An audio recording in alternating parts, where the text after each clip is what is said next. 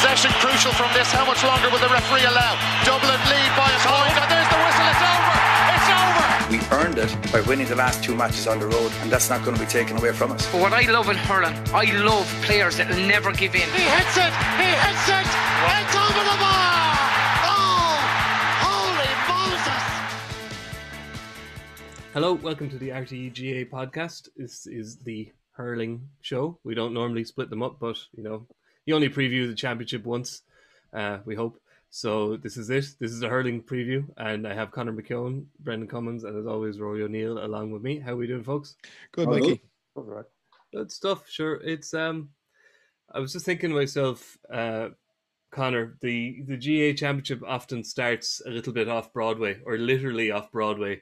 A Connacht Championship match in um in the Gaelic grounds or in Gaelic Park, which uh you know is probably not it pre- precedes every other game by about two weeks, and you don't get any proper championship. You know, you don't get a proper championship weekend until about three weekends into it. So between football and hurling, we have we have ten games this weekend. You wouldn't say any of them are outside of one Munster hurling match are absolute clinkers, but it is nice, I think, to start with a rush rather than a trickle, isn't it?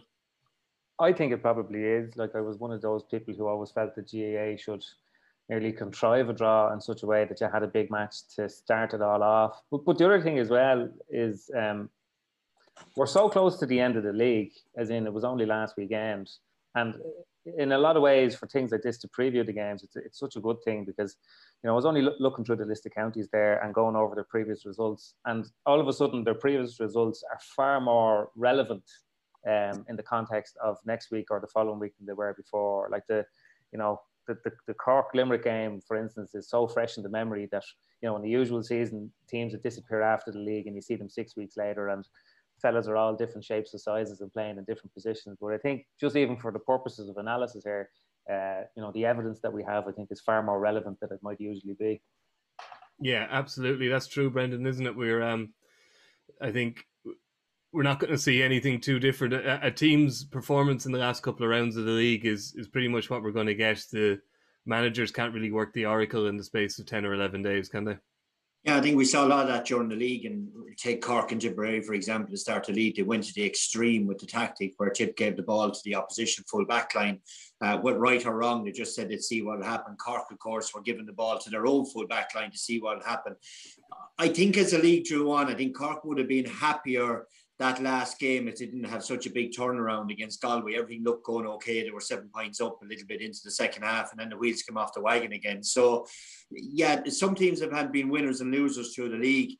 Um, but overall, I think they will all have gotten what they want and agree there that that certainly coming into the championship, there is a bit of momentum there um, uh, for for each one of the teams throughout the league. But the ones who hadn't gone well, they're racked with a lot of they look very fragile. I take the likes of Wexford and Dublin and say and Cork, for example, they looked like they haven't had a strong league and it would have benefited them a bit more to have a few more internal games before the championship comes. But the fella says we are where we are now for everybody. I'm surprised to hear you um, lumping Cork in there with admittedly Dublin and my own Wexford who who, who don't look like they've quite um, you know reached the, the, the levels they wanted. But Cork, I would have thought you don't think you know lots of goals. Okay, an an issue with restarts, as we say, but um, it wasn't it wasn't all bad, was it? no, them? no, it wasn't. No, it wasn't all bad. But I mean, if you are trying to go with a game plan, you'd like to have a little bit more green shoots. I think of it actually working to instill more belief into the players than what we've seen. I think there's no doubt that Cork have a style of play that they're going to run with now. I, I think they'll probably go forty percent short and sixty percent long, and I'm I'm really looking forward to seeing what long is going to look like for them. Um, because I think it was about 2018, I think they played Tipperary, but Thurles Luke Meade was exceptionally good on the puck outs, even though he didn't get on an awful lot of them. He ran to make space for Lehane and Harnedy and those around him. So I think that's what I'm most excited about the seeing in Cork, what the long game is going to look like. I've no doubt they have prepared for that, and they haven't shown us their hand yet on that. But certainly, if you're looking at, at, at Cork over the course of the league, there hasn't been a massive amount of confidence, I'd say, that I get that that short game is going to work in the long term. So I'm just looking forward to seeing what Plan B is going to look like now when they when they play Limerick, because there's no way I think on this God's earth you can run the ball from your own 21 to the Limerick 65 without some of those big guys turning you upside down. What do you make of that, Rory? Is Kieran Kingston playing us all for fools? Has he got has he got Plan B ready to roll? I think they will they will definitely come with something that we probably haven't seen. I think with Don with someone like Don Grady in the back room, I there would be a, there, there would absolutely have been an element of rope dope, I think, against Limerick in the league.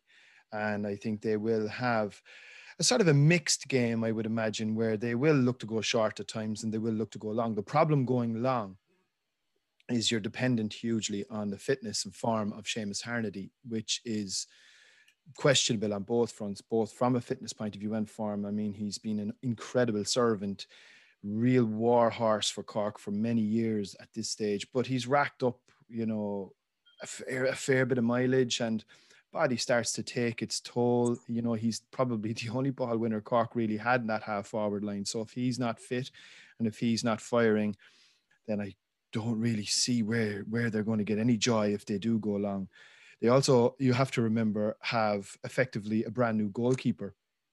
It's not Anthony Nash that is that's pinging these out, and look, Brendan would probably be far better than I to um, understand the vagaries of puck out strategies, which are going to be crucial if they're going to have any chance against Limerick. But at the same time, I think a fast ground, fast ball, the sliotar is going to be moving a lot more quickly than it was during the winter. I think that will be a leveler in terms of their ability to get at teams. They do have plenty of pace in the forwards. They're, you know, whether or not they can clear up all their injuries and sort out one or two issues in the full back line, Colm Spillane would be a massive addition if he can make it. Now, I don't think he will. Um, and then you probably probably looking at a full backline himself, maybe Eoin Cadogan, and if the two Cadogans are fit, and then Sean O'Donoghue. And I wouldn't necessarily have too much fear for that. There's, there's just the problem is I don't necessarily see them being able to mix it in a physical sense for 70 minutes with Limerick. So it is going to have to be a mix from Cork in terms of they are going to have to mix short and long. And if they can do that effectively, I think they have the skills to take on any team. But as Brendan said, you know, the the downer on the Galway match, I'm sure will rankle a little bit to throw like the 12 point turnaround. It's not a great uh, launch pad going into championship. Um, just before we go off Cork, Brendan, I will go. I will spin back to the goalkeepers there quickly. It's an interesting dynamic, isn't it? Having having Cork have had ridiculously few goalkeepers in the last 30 years. It's a bit like the Dublin football team. It's, yeah. It, it's a torch that's handed on. And, and now it's funnily after Anthony Nash has done his stint, we, we have uh, Patrick Collins with with his brother in support. It's it's kind of a unique situation, isn't it? And how much like you would have obviously had a very fine goalkeeper, you know, kind of on your coattails, kind of pressuring you in training and kind of looking to take your place from you. That's very important with goalkeepers, isn't it? Because there's only one in a team, and if they feel they're untouchable or that the the backup isn't ready to take over, then that's not a healthy situation for the team. So that's quite an interesting dynamic they have down there, isn't it? Yeah, it is. There's look, there's no doubt about that. I know with Darren Gleeson, he was chomping at my heels. You oh, know, I was better because Darren was getting better. And I always and people would look at me going, Why would you do that? Why don't you just not help him? But we would have helped each other. But on match day, whether Darren started or I started, we're 100 percent behind each other. But you do need that I uh, that pressure. Uh, and I think as far as Patrick Collins is concerned, the Cork and that game against Limerick, he still found his targets with the puck outs. They were turned over, but now if he was skying balls into the stand or hitting hitting player receivers yeah. on the ankles, I go, uh oh. Yeah. But he wasn't like. Mm. It was just that you are now, Patrick, You hit the ball short. We don't care what happens. It's the rope a dope stuff. In fairness, I think is where it's at. But he found his man every time. A couple were intercepted, which is going to happen. It's not a game of perfect. But more often than not, I was impressed with the fact that the ball went to hand.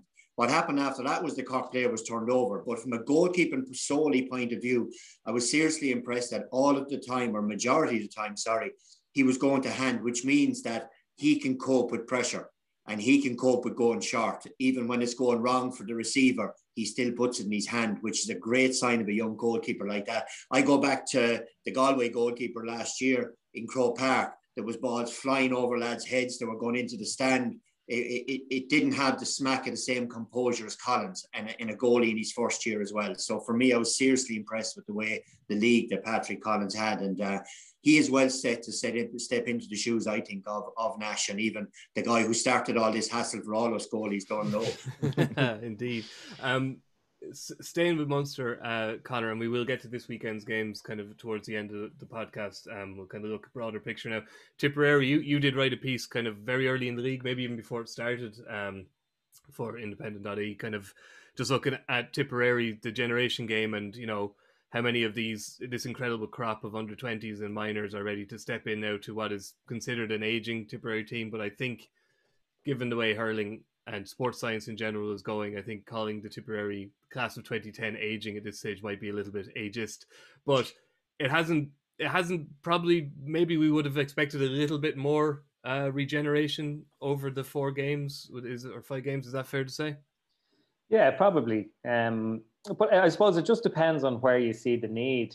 Uh, like where does Liam Sheedy need to bring through players? You know, bringing through players for the sake of bringing through players is never a particularly smart thing to do. Um, like Paddy Cadell, I would be, you know, I wouldn't be surprised if Paddy Cadell started in midfield, maybe with Alan Flynn. Um, you know, he's he, like he's definitely. It's only a matter of time, I think, before he's a, a regular starter in yeah. the Tipperary team. But the, the, I suppose the two things that that maybe we looked at the Tipperary team and thought that they might need. One of them is pace up front. Um, you know, who's going to break the line? Who's going to be the player that goes through on goal? Um, you know, like you look and it's the McGraths and Bubbles and Jason Forde, and they're such sweet hurlers. It's very, very difficult to make any argument to leave them out. And um, particularly now when goals are kind of drying up an, an awful lot, um, when the majority of scores are coming from further out the pitch from really sweet ball strikers. You know, it's, it's no hmm. surprise that you see people like Noel McGrath and say Donal Burke and Dublin and hurlers like that that are playing out around the middle. John Conlon and Clare as well. Um, even Cathal Mannion in, in Galway. So I think they can get a lot of scores from those players still. That that that, that the kind of the bit of age isn't um, taken away from their potency, if you want to put it that way. Uh, but again, breaking the line and going through for goal, like you know, the top teams, okay, Limerick, I think, are, are freaks nearly in that regard. And the other thing for me was their half back line. You know, like every team is going to have to look at their half back line this year because for the first time, I think, since Kilkenny in their pomp, what you have is a, a, a, kind of a runaway favourite in Limerick. You know that if you have designs on winning the All Ireland, you can't like you know it's a dereliction of duty not to examine how Limerick play and try and find a way to uh, to stop them. Like against Cork that day when they 33 points and 20 wides or whatever it was. You know, I think Tom Morrissey and Cian Lynch both got four points from the half forward line. Colin Coughlin got two from the half back line. Uh, like they, they, they, got about 10 or 12 points from their middle eight. Um, and I know that's a growing trend in hurling, but you're, you're just going to have to have, I don't think having Paddy Maher following Gearóid Hegarty into midfield or Tom Morrissey into midfield, that's not a good sort of plan to have. And I'm not surprised to see him uh, play full back during the league as well. So, you know, that bit of mobility in the half back line, you know, with Seamus Kennedy or maybe Barry Heffernan or Michael Breen, I think that's maybe where we'll see a couple of changes in the Tipperary setup. But I think in terms of personnel, other than Paddy Cadell, I can't see too many other players breaking. I think Mark Kehoe and Jake Morris give them great options, but um, you know, it's hard to make a case to leave out any of the players that we were talking about earlier on as being the aging member of the team. Yeah, that's um Brendan, that's interesting what Conor says about the Tipperary half back line because any successful team over the last, well, ever, I suppose we'd certainly say in the last 15 years, the trends hurling has been built on a very strong half back line. And, you know, I personally always wondered at the aerial ability of the Maher brothers, etc., and whoever was playing, you know, with them, uh, centre back, be it Brendan Maher or whoever else. Um, do would you agree with Conor that perhaps they, they need to to look at the at, at the makeup of that half back line and change the way, way they're playing to Limerick proof the team. Yeah, I think so. I think the way the team is set up, I think Tipperary in the last number of years traditionally would have set up with the wing forward and wing back at least 30 yards apart for most of the match. But I'm seeing a lot of change now in that the wing forward is now supporting the wing back more and conceding the puck out to the full back line, I think, is just showing that Tipperary we're planning for later on down the road when we play. I would think Gal or Waterford in the in the in the Munster semi final. Tipperary will want you to hit the ball long down top of their half back line. They're very strong there. They're aerially extremely good. But what they don't want you doing is creating an overlap on the opposition 65 and running it through that channel. So that's the last thing Tipperary, I suppose, would want to see. We saw it in the last five or six minutes in Walsh Park when the Waterford players held the hurley short up around the, the, the boss of it and started running and decided they weren't going to hit it. That now is Tipperary's kryptonite as far as I can see, and they will have a problem. So if they sit deeper, concede the puck out, and then make them hit it, it plays to their skill set an awful lot more. I think teams as well, and you saw it a bit below in, in Walsh Park, Waterford gave the puck out to Tipperary as well. And I think they were trying to see can Tipperary run it out? And I think that takes Tip out of their comfort zone as well. So all these things are what's been worked on the last number of weeks by the Tipperary backroom team. I think the biggest disappointment we have in Tip is yes, the supporters are probably saying we want to see more younger players. But if you're Liam Sheedy, every year Liam would have said to us, I have a one-year plan. Right. So he wants to win this year's All Ireland, not the one next year, the year after. And he reckons with the older guys that he has there, he'll fire them up by saying the whole country is saying we have a bunch of grandpas playing out here, lads. Let's show them what we can do, and they'll take the paint off the wall. You know, so I think that's it. Brian O'Meara is the only one. He got injured against Limerick. He's the biggest disappointment for us in Tip. He's an exceptionally good player now. Um, and I agree, Paddy Cadell will play midfield. I, am a huge supporter of his as well. I think he's extremely good. He hits a wallop, which is what I like the most about him. Uh, and he'll get stuck in and he'll break a tackle. Uh, but overall, I think if Tip's set up the right way, it'll give themselves a better chance of playing. But if the half forwards, which I think should be Dan McCormack and Michael Breen, if they decide to go too far up the pitch and take on a role as the old traditional half forward, the wing backs are left out to dry. And then it's going to be like Paddy and the lads are going to be like standing in the middle of a dual carriage with the cars flying past them like they've no hope. Like. Yeah, I think something. I think something that they might be helped with as well, Mikey and Brendan would probably know this obviously a lot better uh, from on the ground and tip is that you last year's championship and like people tend to forget they went out of last year's championship in an absolute humdinger of a game below the Gaelic grounds to Galway which kind of got forgotten largely because it was the same weekend as the bloody Sunday commemoration and it, the game was played sort of in the graveyard slot lunchtime Saturday and not too many I don't know whether too many people were paying as much attention as they should have been it was a brilliant game mm. but I think last year's championship they did fall a little flat, and I think that was largely a lot of their players had put in fairly tough club campaigns. Like they don't have that distraction, for the want of a better word, this time round. Certainly, the McGraths I think went deep into hurling and football club championships, if I'm not mistaken. Did they go to yeah. both club finals with Loughmore Castleiney? And they won't have that this time round. So he has a there might be a freshness to Tipperary that might help them. W- would that be fair? Yeah, it is. I mean, uh, Noel McGrath and John McGrath certainly last year they they John had scored a, a point from a puck out, uh, or sorry, from a from a 65. They were caught in a quick puck out by Barry Hogan down the field goal, and they lost the county final. Oh, that's in, right. Yeah. In 30 seconds, like then they played the football final then against um, commercials, and they're beaten again by only a couple of points. So there is certainly last year unusual circumstances. You players playing for three months every night, every week, football and hurling. So that freshness, I think, is what Liam is going to absolutely rely on. I'd say that this year's championship, but it also Rory, it says that Tip need to go through the main way, the front door. Yeah, yeah. They can lose a Munster. Well, they can't lose that that game against Waterford or, or Clare anyway, mm. because if they do, I think it's it's five matches in four weeks or something like. And yeah. I don't think they're going to be set up for that. To be honest about mm. it, like you know, so they need to go the front way. Um, Conor, let's get to the, the elephant in the room, or well, not the elephant in the room. Let's get to the best team in the country. The Green and, Giant. Yeah, the best team in the country, and what most people consider their their closest rival, and the team who probably play the closest game to them in Galway. So Limerick and Galway, uh, to, to break it down simplistically, play a power game, a, a kind of an almost. Uh, and not a new form of hurling, but a very much an advance an advancement on what was there before. They don't worry too much about goals, even though Galway I think have definitely more capability to score goals than Limerick. They just look to overpower the middle of the field, win that battle, find someone free, score a point from anywhere between ninety and sixty yards. It sounds very simple. Um, most other teams perhaps know they can't go toe to toe with that, and what you might have noticed, I suppose, a little bit is some teams, Waterford in particular, getting quite interested in looking at goals and considering that maybe this thing that Limerick have kind of have, have decided to ignore the green flag might be the only might be the only way to, to win this championship is to score a lot of goals and that you know make the most of any attack you get. Yeah, but uh, like like for me, the most interesting thing about this championship is how teams will approach playing Limerick because like they hold all the all the pots and pans now. Like everyone is warned, everybody knows how they're going to play.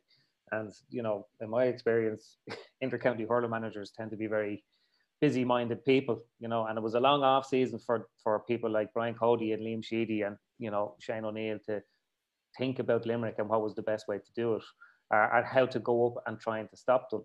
And you know, if you give Limerick 50 shots and you and they scored 33 points, uh, and you've you know decided to keep your defense in the in the shape that it's in for the whole game. If your wing backs don't track the wing forwards, or if there's no sort of cover coming where you where you find out a way to close them down out around the middle of the pitch, well, you don't have any excuse. So so you know I think for a long time defenses in hurling were built to try and prevent the concession of goals, and I think to, to a large you know you, we see that foul now that they've just basically tried to outlaw.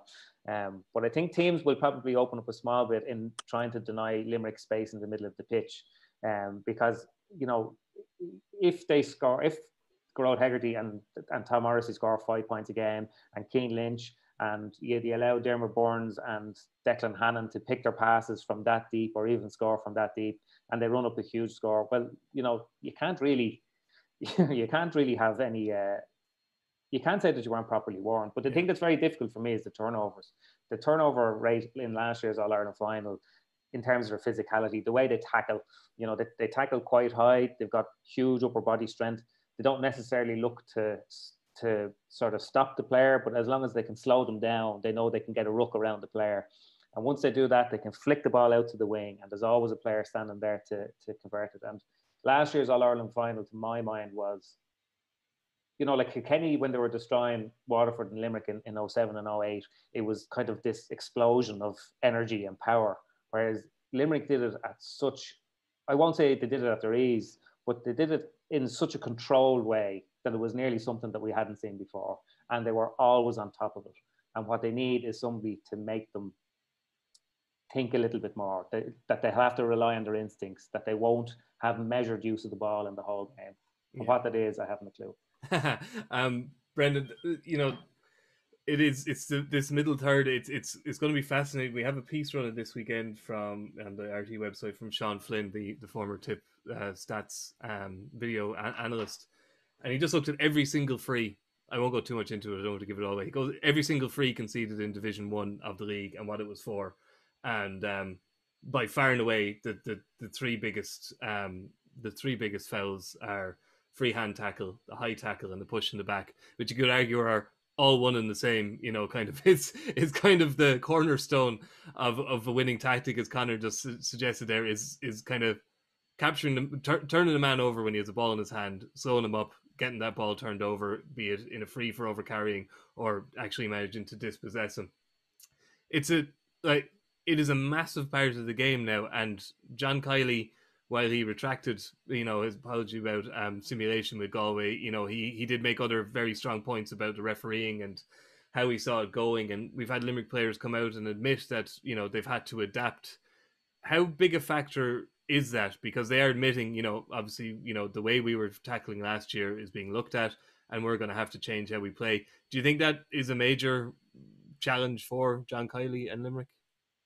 No, I think Limerick, uh, with, with Kinnerk and the boys, they're very clinical in the way they go about it. You mentioned it there about there's no fuss, but they all have a process and a plan that they stick to. So there's no doubt watching Limerick from round one of the league to round four of the league, the way they're coming in with their arms is different. They used to come in shoulder high, then they came down to rib cage high, and now they're coming in waist high. So they're they fixed the problem, and that's the that's the way sports science works, and that's the positive side of it. That you can show players, look, this is wrong. This is the way the referees are doing it, and they adapt and they change, and, and that's all part of the all part of the game. But I think if any team is going to uh, is going to get Limerick, it'll be like what Waterford did last year come out around the middle third, flooded with bodies, have yeah, two inside, yeah. leave it, do leave. Now, if you remember the All Ireland final last year, right? If there was any other goalie there, Mar Nicky Quaid, Waterford might have got two goals, like right. Yeah. Waterford had a lot of goal chances last year. They were a bit like us in 09. They struck the ball from about 14 yards rather than going into about six yards, right? Uh, and that will make the world of difference. So if I'm one of the opposing managers looking, I'm saying, look, if we flood back out the pitch and Tip tried it for the first mm. time ever you saw Tipperary playing with nobody inside the opposition 45. The delivery of the ball, though, for me is still key between your own 45 and 65. If you're wasteful there with the ball and you don't run it through those lines and use the 10 yard pass rather than the 40 yard one, you use the 40 yard one pass there to get you on the counter attack point. But if you are more clinical or more precise in your delivery of the ball to the man closest to you, which is a lot of hot wiring players differently because players normally get the ball in their own 45, they look long. But last year as well, the last point on this, the, when they played Galway, Joe Canning was left inside on Finn, who's about half a foot of a difference in height, right? Uh, Tom Morrissey was left on side on Whelan, which is at least 15 yards of pace of a difference. And Galway never hit the ball in. So if you're looking for this disturbance in the force, we'll call it of Limerick, when you look up, you have to hit the ball in when it's on. And again, it's counterintuitive to what normally an intercounty hurler does. He normally plays that short pass. I remember the All Ireland final in 2010. Obviously, Shane McGrath looked up and Larry the ball in top of Larry because in that split second he noticed that Larry's marking Hickey and there's a height difference. I'll get it in.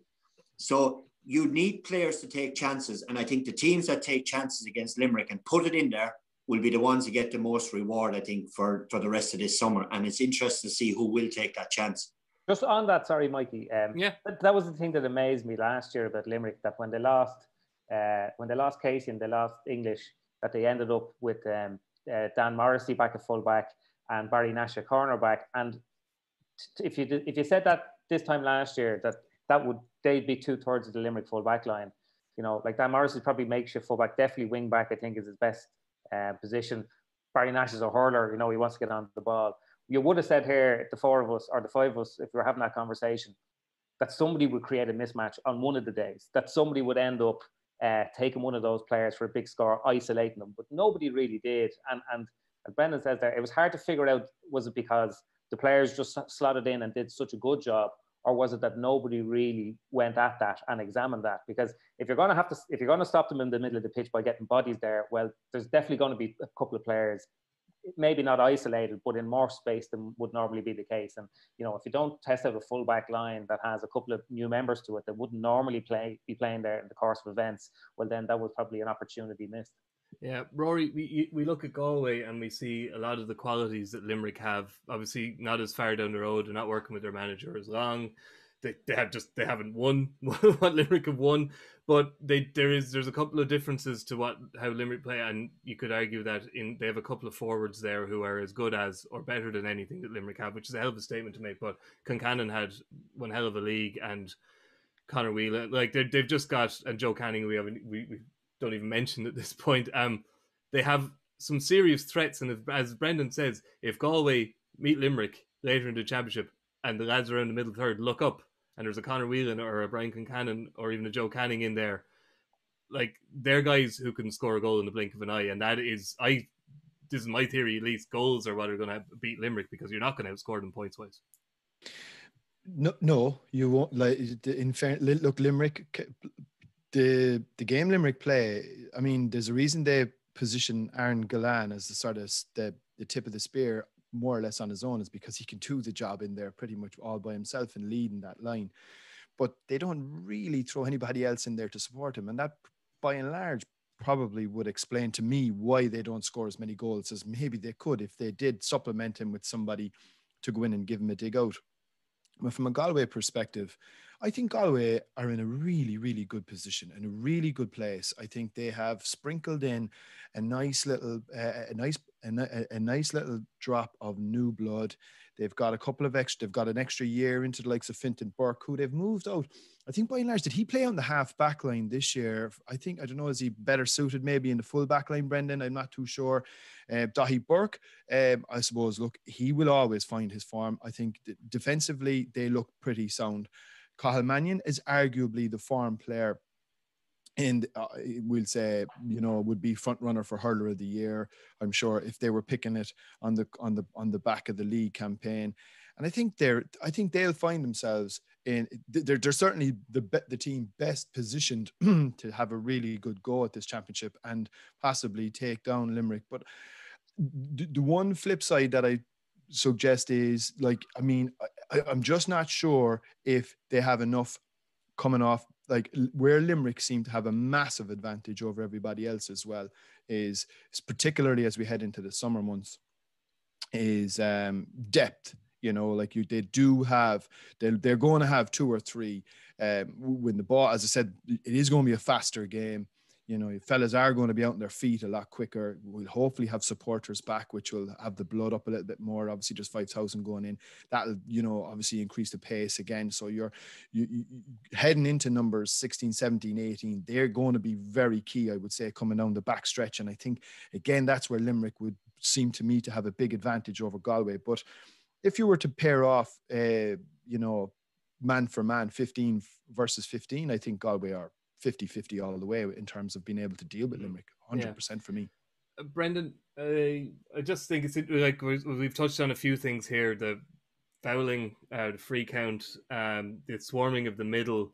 Um, you know, a couple of things. They're all kind of feeding into this kind of culture war that's going on. Um, Vincent Hogan had an interesting piece in Conor's paper website at the weekend with a uh, with I would say Vincent raging that said said former Inter-County hurler manager wanted wanted to be unnamed after talking to him because he got lots of gold out of him about how he doesn't want to play the game. He doesn't he doesn't enjoy watching hurling anymore. Except it's a well worn argument at this stage. Rather than that, though, what I find interesting is kind of like the opposing views between Martin Fogarty, uh, kind of the the GAA's protector of the game of hurling. Um, he kind of wrote a Jonathan Swift style satire about well, if you want if you want the game to flow, just just make sure to don't make anything a foul and the game will flow was his argument. And then he had Joe Canning on Game On last week saying that he actually thinks referees assessors are are the problem with hurling because they're um they're the ones forcing referees to call up every infringement you've got this kind of you've got this culture where you've got like possibly one of the greatest hurlers of all time, certainly one of the greatest in the modern era, who deserves protection, saying, I don't want protection, I I want the game to flow. And you've got Martin Fogarty, who no one would think has anything but hurling's best interests at heart, saying that we really have to, you know, kind of root out systematic fouling in the game. It's quite an interesting kind of dichotomy we've got going on. It is, and and and it's the worst. I I go back to that first game when Tip played Limerick it was reckless watching it on the on the telly. The amount of frees, we're all going, my God, the game is dying in front of our eyes. But I think it's it's mellowed a bit as we as we've gone on. You look at Joe Canning, like he got a belt off of Paddy Maher in a game above in Croke Park, and Paddy nearly drove one shoulder out to the other. That wasn't a tackle on the ball, and the player who received that tackle is saying, "Look, the game's okay, right? You know what I mean? you know that's the way the thing is right now. It, at the start of the league, that tackle could have got somebody jailed. Like you know, I, I think I think now it has mellowed. I think referees now are starting to put their character across the game. I don't think with a ball the size of what it is, you can really go black and white on rules. We're trying to do it in the spirit of the game as we go along as well. Um, and I think, yeah, I think it's it has balanced itself out. Yes, there was knee-jerk reactions. If you go onto Twitter any day of the week, you can see that everything's a disaster, everything's good. Take a pick, depending on who you're following. Um, but I think the game has has I'd say balance itself out to where I'd like to see it. And I hope going in now to this championship weekend that we will see that common sense, that arm going up in the air to apply a bit of an advantage where we see a, a player has a chance to express himself and all that. And uh, I, I, I don't see hurling on that life support machine that I saw in the first couple of rounds of the league, to be honest with you. Although everybody's entitled to the famous opinion and all, I just think the cut and trust of hurling is throw it in and let them at it. And, uh, and, uh, everything will be will be okay. I think in the long run. I wonder though, and I wonder, could I just ask everybody's view on this? Was there any hint of irony in Martin Fogarty, Martin Fogarty's um, interview that time? I mean, no, look, people can take this for what it is. In my view, Kilkenny are largely responsible for the way the game is officiated these days. Um, they changed this, the rules of engagement by and large with you know the upper body tackling and a lot of the pulling and dragging that we all t- seem to find so. He doesn't represent kilkenny anymore or he represents well, the game of hurling. yeah i know but at the same time you know I, I just i'm just i'm just wondering was there an element of irony here you know in terms of running with the hare hunting with the hounds? Like at this like you you the game changed. The rules of, of engagement have changed I think crying over it now, 15 years later, is a bit late. And at this point, if you are concerned about fouling and the interpretation, then redefine all of those things in the rule book. But until that's done, I think the game is now what we have now is what we will have for the foreseeable future. I think the big issue, personally speaking, is the stop start nature. And some of the issues around that are coming from water breaks, which is two stoppages. You then have situations where frees now are being awarded in half back lines. You have Patrick Horgan jogging 60 meters out, which chews up another minute off the clock to tap the ball over the bar from 100 meters. And same with Tipperary doing the opposite direction with Jason Forde, who can bang it over the bar from 100 meters. And that's running down the clock. It's eating up time. It's making the game like more stop start and there isn't as much flow. I think all of those things are issues as well as the interpretation around the tackle. And I just thought it was a little bit ironic coming from a sort of a Kilkenny source that, you know, we're cribbing about how the interpretation around the tackle is now being applied. Yeah, we were just on the tackle there, like we were on the League Sunday there a couple of weeks ago, and um, we said Seven Derrick, and we were, we were looking, and Joanne was looking up the rule book as to defining the tackle when we wanted to try to get clarity on like Rory, you're there. Yeah. And like yeah. there's that much for the tackle in hurling and there is that much for the tackle in football. Football, so I think yeah. at the end of the year, Mm. it'd be a really good exercise for the GAA to sit down, get the, the I suppose all the stakeholders in, managers, players, past players, what administrators, of course, will have to be there and say, right, lads, let's have a look at the tackle. Let's look through this. And can we actually define the tackle?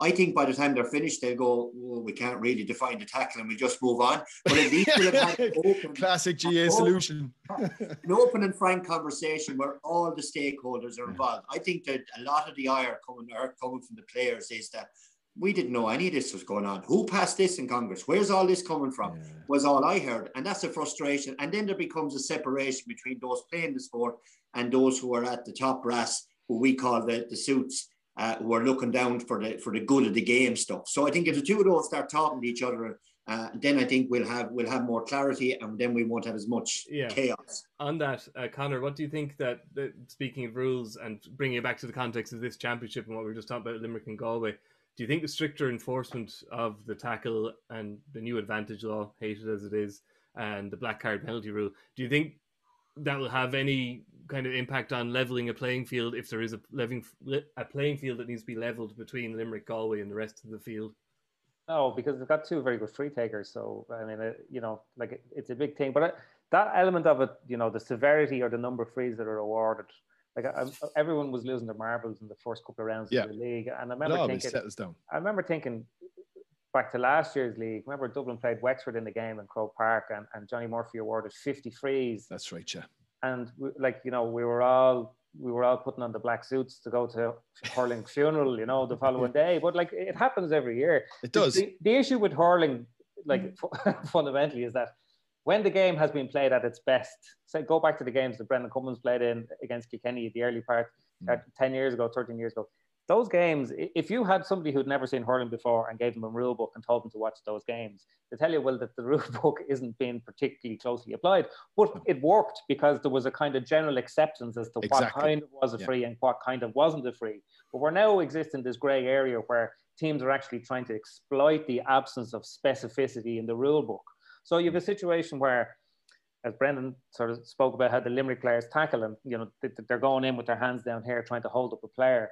But the number of games that I was at in the league where a player will go in and try and stop a player doing that, and if the player is physically stronger than the opposition player, the other guy will go down and there'll be a free. Whereas if he's not and he does the same act, there's no free. So Yeah. yeah, you have a situation where because this fella is bigger or stronger, or the other fella's off balance, or the other fella went down, which players are doing now an awful lot more than they used to do, a free is being given despite the fact that it's essentially the same tackle. So we're in a just I think a strange place with regard to the kind of contact that's going on now is different from the kind of contact that went on 10 years ago because teams realize that you know, I mean, how many clean dispossessions do you see with a flick of a hurley in the game? Very, very few. You don't even see you don't even see block downs or hooks. You don't even see block downs or hooks that much anymore, Conor. It's very rare you see a block down or a hook. Stop, stopping a player, halting his run, making him deviate his run, they're all considered to be tackles now. And as we know, team managers are obsessed with tackle counts. They're, they're, they're like tackle counts, um, turnovers, and conversion rate are the two, are the three statistics that most intercounty managements live and die by at the moment.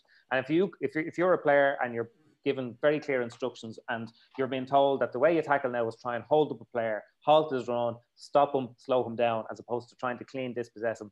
That's where we get this very, very strange grey area. And that's why it's very difficult for referees. But what tends to happen and I hope again that this does happen, and I suspect it will, is everybody reaches this kind of middle ground where we're all kind of happy but kind of not happy with it at the same time, and you get through the summer. Um, Brendan, just on that, do you think that the the new rules as they are will they have any impact on on the the, the outcome of the championship uh, specifically? Will will they impact on Limerick more than anybody else? No, I don't think so. I think Limerick have adapted. Every team's adapted now. They all know that they all know the crack is where. Um, and and I, every intercounty manager now, and I know I was involved with Kerry, the first thing I'm asking about a player sitting in front of me is can you break a tackle? If you can't break a tackle or can't stop someone coming at you, then you start to fall down the pecking order a bit. And I think what happened then was that was refined to can you tackle with the correct technique and can you take, are you coachable? And obviously, all the players now at this elite level are coachable. And so they will, yeah, I think you'll still see the hits, you'll still see the wallops, you'll still see the, oh my God, that's a free or shouldn't have been a free stuff.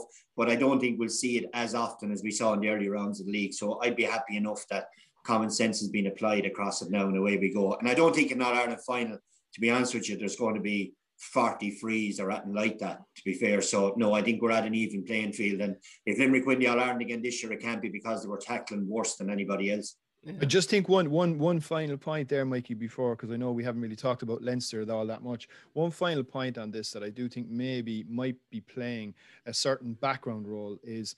I mean, Conor referenced um, the brilliant games, uh, the trilogy between Kilkenny and Tip, and you know the absolute flake fests that they were, and it was basically throw the ball in, swallow the whistle, and away you go. Um, I think in the 10 years since, and absolutely no, this, this is absolutely no disrespect to uh, the specimens that ye were back then, Brendan, right? But I do think maybe been in the 10 years since, there's been a huge emphasis on conditioning. And what you now have at intercounty level is six foot two, six foot three inch muscle monsters running into each other at, you know, like you know 60 70 kilometers an hour and hitting each other at a for like i mean not, for instance, not quite that fast though. well well like like if you look at if you look at um we'll say when jackie and shamey cal in that famous uh 2009 final when you know there was a sort of a meeting a meeting at the ok corral you know the two lads basically just ran straight head on in you're now dealing with lads that are you know much more much better uh, developed in terms of their physical sense, and the potential for injury is probably a lot greater, and the potential for serious injury for amateur players. And I'm just wondering if I'm not saying they would say this explicitly, but there could be a sort of a you know a background, little bit of a whispering sort of going on to say, listen, we need to tighten up here, or somebody could get really seriously hurt. You know. Mm. Um, you mentioned Leinster. We haven't spoken about it. a quick before a quick word uh, before we get on to this weekend's games because we're, we're running out of time. Uh, Brendan, uh, your, your, old foes, Kilkenny, um, we, we hate the word transition, so we won't say that. We'll just say Brian Cody doesn't have as good a team to play with as he used to have, does he? Oh, well, say the transition. Yeah, I don't think so. I just think Brian Cody picks a team that'll win the All Ireland that year. And if all the rest of us looking in want to take a scientific approach and say he's transition or he's plotting or he's planning, he's, he's not. He's just taking the best of the, with the greatest respect, the best dog he can find in a Kilkenny jersey that's going to work his backside off, going to hoop, block, break tackles, kill somebody to get the ball, get killed themselves. That's the template. Like you can put sports science around this all you like. It's just the size of the fight in the player, and that's what he looks at. And after that, then we'll see can he play hurling, and that's kind of the way for me it's been. And TJ Reid then will pot every free, so he'll score 10 or 11 points a game. You're sure he's going to hit them over the bar probably score a goal. So you're about 113 up before you even start. And if you think about the Kilkenny team in 2019 to beat Limerick, I think it blew up all the stats engines about work rate. The GPS has literally nearly melted off those players' backs. And that's how they bet Kilkenny. Sheer work rate. Now they have skill, don't get me wrong. But Brian Cody, in fairness he knows how to find players of character and he'll find them and he'll put them out. And that's why they've topped their group, obviously, with a game to spare. And uh, they'll just do the same thing over and over again. No change here in the last 15, 20 years, as far as I can see. You'd have to expect, Conor, that they will be playing Wexford next week, the weekend after this. Would you? Can you see any way for Laois to, to trouble Davy Fitz's team, even if Wexford aren't hitting the heights of a couple of years ago? No, not off the basis of league form anyway, which is all we can really go on. Um, like Laois have the same sort of quality hurlers, but they just probably don't have quite enough of them. Like I you take Ross King or Paddy Purcell in any team that you were putting together. But um, No, like uh, like Wexford, I don't think it's a great league either. They, they, you know, the game against Dublin was kind of a game of two teams that were looking pretty unsteady on their feet, and I think uh, maybe Wexford took advantage of the fact that Dublin were maybe playing in such a way that they were gearing themselves up for championship matches. You know, like they, you know, they they kind of vacated the space either side of Liam Rushe um, and dragged the Dublin half backs into midfield, and then put puckouts down and made uh, Rushe chase uh, O'Connor either side of them, and they, and they got a fair few scores off that. But um, I, it, it's just it's hard to see Wexford coming back from such a bad year last year. It tends not to happen. You know, I know there was a bit of the, you know, let's finish what we started, but they came back so far last year. I think it's probably a bigger job to get them back to where they were the previous year. Um, and in the absence of three or four new players to kind of freshen that up in a big way, uh, I'm not sure that they're going to this year. I don't think they'll win Leinster, but I do think they'll beat Laois. Yeah, yeah, okay. I'll take that for now, and we'll we'll, mention Kilkenny next week. Um, I'll, I'll, stay with you, Conor, because there's bad news coming out of Dublin uh, last night. Obviously, um, Trollier is out for the, the season, but looks things with an Achilles injury, which is which is a major blow, isn't it? Massive blow. It is insofar as that uh, what Trollier gives Dublin is um, something that they don't have very much of, which is a goal threat. Um, yeah. You know, there are games where he can stand in the corner and he can find it hard to get the ball in his hand but when he does, he's lightning. And when he gets turned, he has a very low center of gravity. He's impossible to stop. Even to foul him is tough because he's traveling so quickly. Um, so he's a big, big absence. Like last year, he found it hard to get in the team, and then he came on against Kilkenny, and I think he scored four or five points.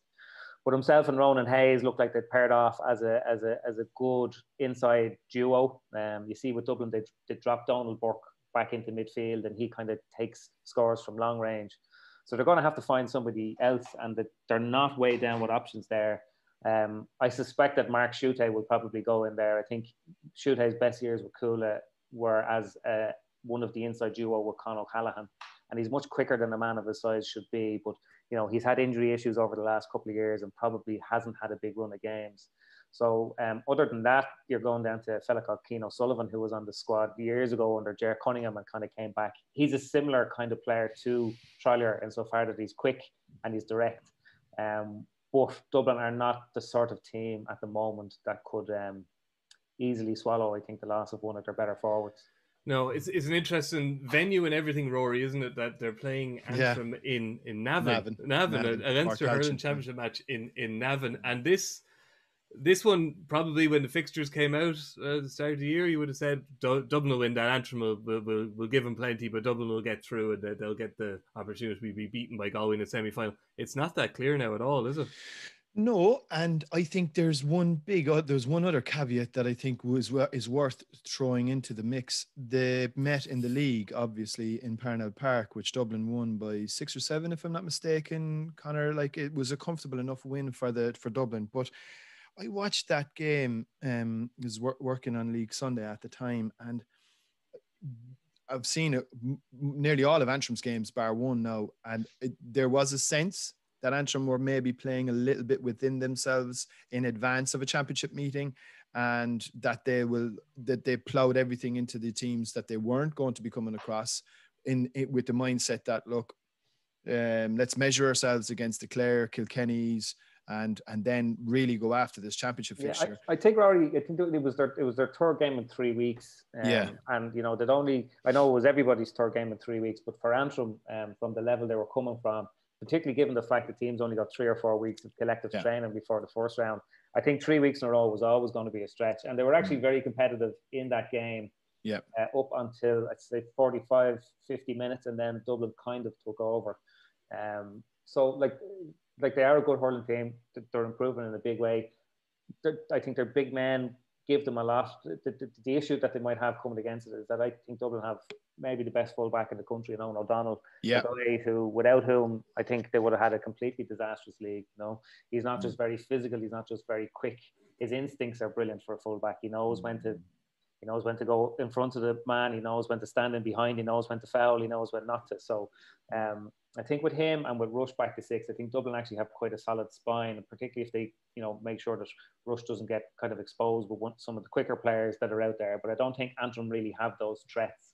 Um, but I, I think again, it- I like, think it it'll comes be- it'll the be- mindset coming yeah. into the game. Like, But it will be it will be competitive, I'd say, Conor. Though. Ah, think yeah, it'll, be, yeah, yeah, it'll no. be a very competitive game. It'll be one of the more interesting matches over the course of the Hmm. weekend across all ten games. And Anyway, look, look, you'd, you'd expect Dublin to win, but I don't think it's a gimme. no, not at all. Um, final word to you, Brendan. Then on the match in your in your in your old uh, your old field in Semple Stadium, we have um we have obviously Waterford and Clare in the quarter final of the Munster Championship. Um, big blow. Shane O'Donnell being out, joining Patrick O'Connor on, on the sideline for Clare. Do you, do you, do you think that could actually be pivotal? Because it was a bit of a you could have put a cigarette paper between them. You could argue, but that that might actually just tip it in favour of the Déise, does it? Yeah, it does, I think. And with the momentum that Waterford have as well and the goal scoring threat they have Dessie Hutchinson inside. Now, there's also little bits of rumours that Jamie Barron might make it. I think Prunty and Austin Gleeson will be okay, but I don't think Barron will be okay for it. Um, either way, I still always have fancied Waterford. Waterford have, under Liam Cahill, they've gotten that little piece of the jigsaw that was missing inside 25 yards of the opposition goals, which is a goal scoring threat. Now, last year, Desi and Stephen Bennett were the two, and I think Shane Bennett this year has added an extra bit of X factor to them. And uh, guys who can carry the ball, who are get you one on one, can win their own ball and go past you, that kind of thing. So I just think that the momentum Waterford have and uh, and the way they're playing the game uh, means that I think they, they will have too much for Clare again. I don't think it'll be like we saw in Páirc Uí Chaoimh last year, where Clare just simply didn't didn't turn up. Um, but I think this time it'll be closer. But I do think Waterford will will have enough to beat Clare the weekend. Okay, we're just out of time. So, in a word, everybody who's going to win the All Ireland, I'll go first. Limerick can't pick the same as me. Conor, Galway. Brendan, Limerick.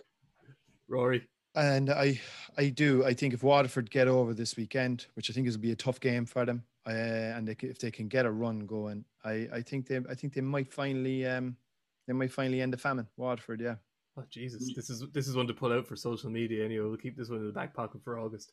Um, thank you to Conor and Brendan. Um, that game at Semple Stadium is live on RTÉ television. We'll have commentaries from across both ga- both codes on both days on Saturday Sport and Sunday Sport on RTÉ Radio One, and we'll as always we'll have live blogs of all the games, match reports, reaction columns, everything else you want on the RTÉ website and the news app. So thank you very much to the lads and uh, everybody enjoy the first round of championship and we'll see you next week. Goodbye. crucial from this. How much longer will the referee allow? Dublin lead by a point, we earned it by winning the last two matches on the road, and that's not going to be taken away from us. But what I love in hurling, I love players that never give in. He hits it, he hits it, what? it's over the bar! Oh, holy Moses!